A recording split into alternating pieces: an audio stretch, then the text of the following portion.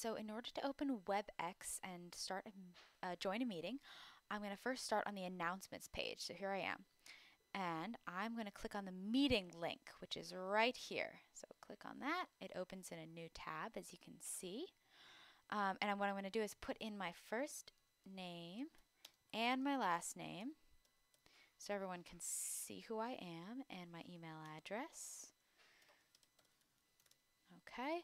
Now, if you are joining the meeting using a Windows PC or a laptop or a MacBook, as I am, then you want to hit join by browser. You don't want to hit join meeting. You want to hit join by browser. It's going to make your life so much easier.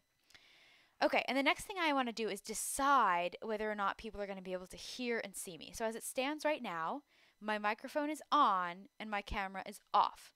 So if I didn't want anyone to hear me, I could click that. Now no one can see or hear me. And now they can see me, but they couldn't hear me.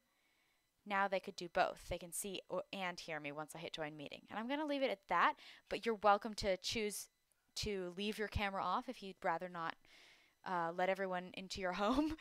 um, and you're welcome to change those settings once you are in the meeting. So I'm going to hit join meeting. Okay, we're connecting. Let's see.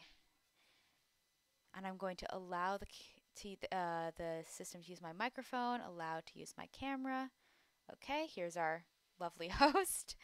Um, now, once I'm in this screen here, I can go down and mute my video. Now nobody else in the chat can hear me.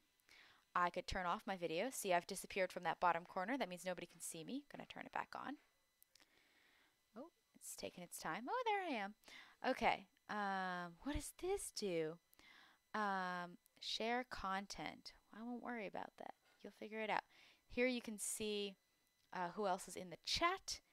And here you can see where the chat happens. You can type things and it'll show up like a texting conversation essentially. Um, so again, you're welcome to change these settings throughout.